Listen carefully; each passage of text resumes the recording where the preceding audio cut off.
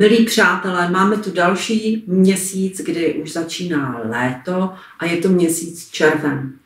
A v červnu, prosím, 10. června bude novoluní ve znamení blíženců. A bude to ve 12 hodin 52 minut, čili v jednu hodinu v poledne. Toto uh, novoluní je velmi důležité samozřejmě pro blížence, pro ty, kteří mají ascendent blíženců, ve znamení blíženců a nebo další osobní planety, jako je Merkur, Venuše, Luna, Mars a tak dále. Čili říká se tomu astrologicky silný potenciál znamení blíženců. Takže vlastně Luna se nachází ve stejném znamení jako Slunce a už jsme si říkali, že vlastně je to období velmi silné, kdy Slunce podporuje Lunu, Luna podporuje Slunce a vlastně v této době jsou vhodné i různé detoxikační procedury. Čistíme svůj mysl, protože vládnoucí planetou blíženců je Merkur a posel bo, bohů vlastně. A tak proto ta mysl a tohoto znamení je velmi rozptýlená. Blíženci jsou většinou velmi zvídaví, inteligentní, rychlí a tak dále. Takže ta detoxikace je důležitá i pro naší mysl, a nejen pro to tělo, ale vhodné jsou i různé před létem, že jo, různé detoxikační a odtučňovací kůry, kdy prostě naladíme své tělo na to, aby něco trošku pustilo nějaký tuk nebo vodu a abychom vypadali v plavkách a v letních šatech lépe. Takže je to nový start do nového období, kdy vlastně blíženci jsou to přátelské znamení, komunikativní, a tak mi představuje to oblast vlastně lidské pospolitosti. Takže se těšme, že vlastně už se některé ty procesy uvolní jistě a my se budeme moci více e, výdat, a chodit na různé společenské Mm, setkání a budeme se připravovat na léto, na dovolenou a na prázdniny. Takže novoluní, nové začátky. A zase v tom kolektivním vědomí se připravme na to, že to bude čas plný sluníčka, plný prostě příjemných zážitků a tak dále. 30. den uh, lunárního cyklu je pod vládou Zlaté labutě. A je to vlastně a takový čas, kdy, který je vhodný i k, určit, k určitým vlastně procesům, kdy dokážeme odpouštět druhým, ale velmi důležité je odpustit i sobě, protože my v životě naděláme všichni eh, mnoho zmatků, mnoho chybných rozhodnutí a vytváříme tím pro sebe i pro ty ostatní kolem nás problémy. Takže zkusme odpustit uh, ty chyby, i sami sobě. Ukliďme v sobě, ale ukliďme i kolem sebe, ukliďme svůj domov, svůj byt, svůj dům, svoji zahradu, pustme se do toho vlastně, aby to prostředí, v kterém žijeme, vyvětrejme, protože blíženci jsou vzdušné znamení, otevřeme okna, a načerpáme prostě domů nový vzduch, vyčiš, vyčistíme vlastně svůj osobní prostor i třeba šalvějí nebo kadidlem. A můžeme zapálit různé voňavé či tyčinky a vlastně ten prostor pročistit a provonět první vlastně začátek lunárního cyklu a ten je pod vládou uh, lampy neboli lucerny nebo třetího oka.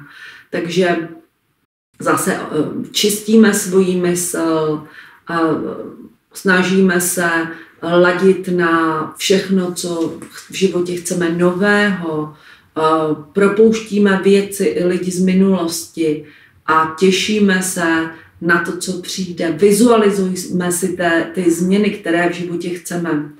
A blíženci jako takový uh, ovládají vlastně oblast uh, plicního uh, systému, plíce, průdušky, průdušinky, ale taky oblast paží.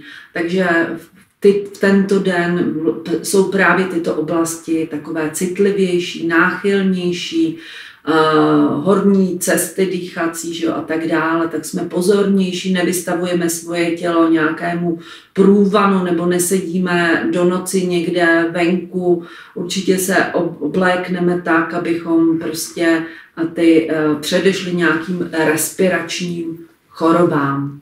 Energie tohoto dne je taková vlastně vzdušná, proměnlivá, hektická, takže um, určitě úplně nezačínáme v tento den uh, něco nového, spíše si to vizualizujeme a plánujeme prostě ve své mysli. Ve čtvrtek 10. června bude novoluní ve znamení blíženců které se bude odehrávat ve 12 hodin 52 minut. A my si vytáhneme jednu kartu tarotu a jako poselství pro toto novoluní.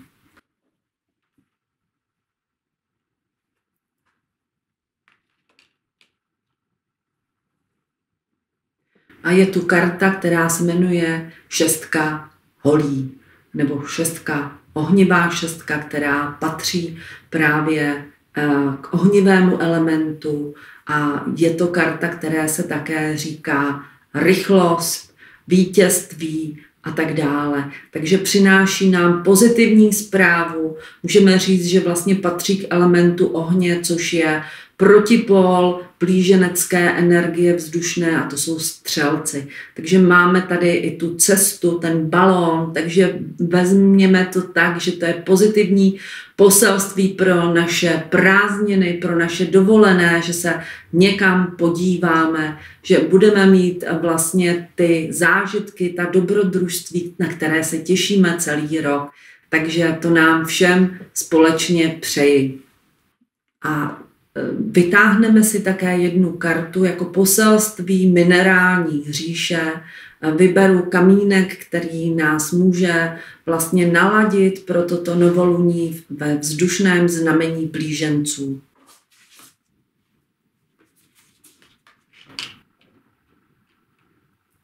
A je to krásný kámen smaragd.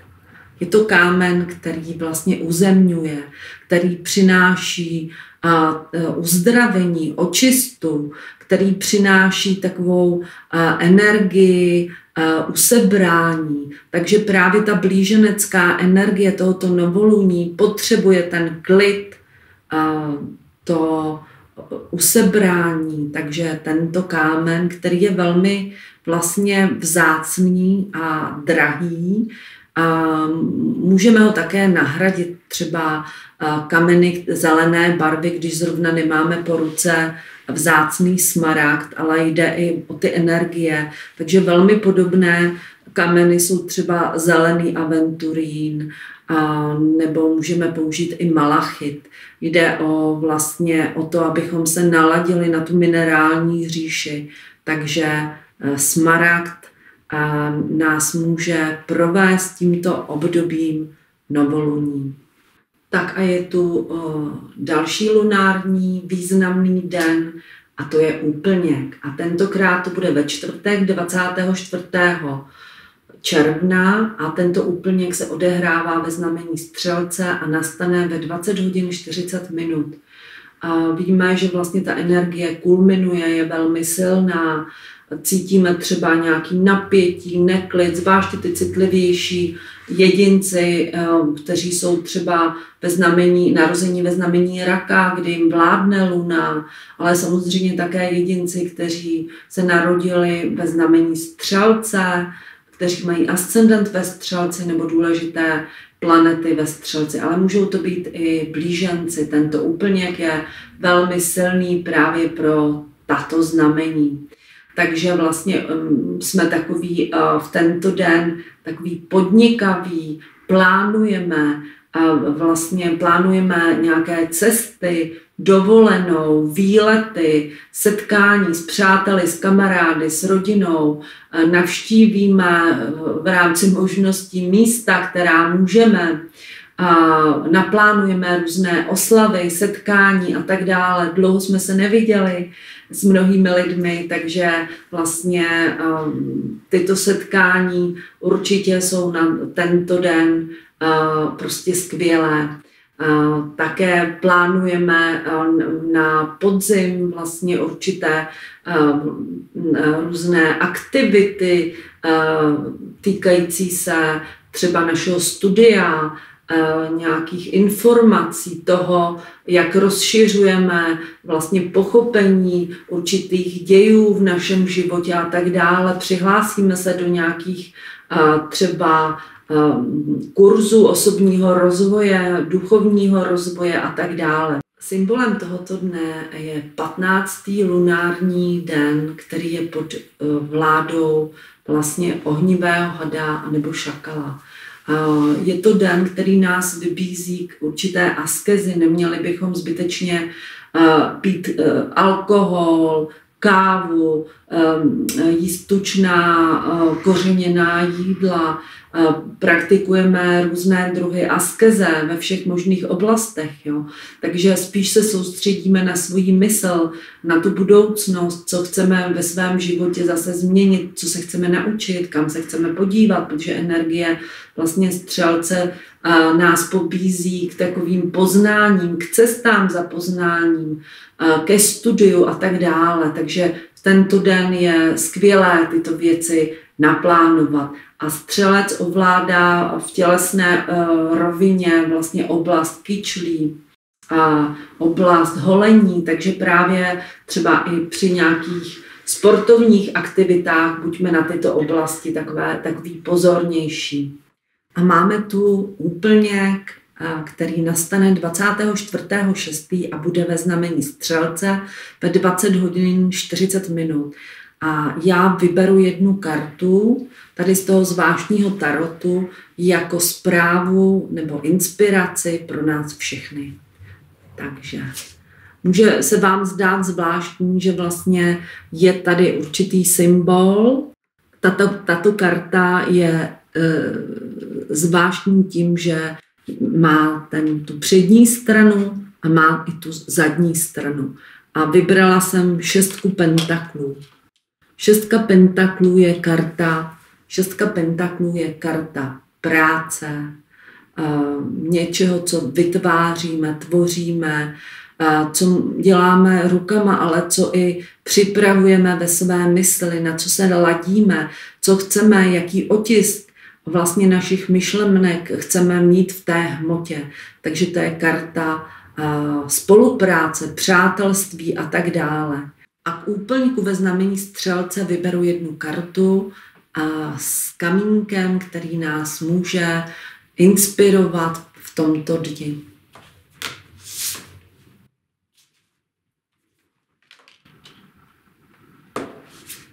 A je tu krásný kámen ametist, který tradičně se přisuzuje teda ke znamení ryb ale těch názorů, jaké kameny ke komu patří, k jakému znamení, je eh, opravdu velmi mnoho. Takže ametist je určitě teda kamenem eh, takového duchovního rozvoje, učení, studia a tak dále. Má krásnou fialovou barvu a vede nás vlastně, ovlivňuje i naší sedmou čakru a prostě vede nás ke zkoumání věcí, které jsou pod povrchem.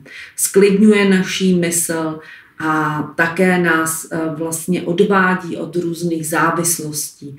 Takže ametist je tím pravým kamenem pro práci při úplňkové energii. Milí diváci, já vám přeji, aby měsíc červen pro vás byl kouzelný, aby odstartoval krásnou dovolenou, prázdniny, odpočinek, spoustu sluníčka a všeho dobrého. Mějte se přes léto krásně a budu se s vámi těšit na podzim na shledanou.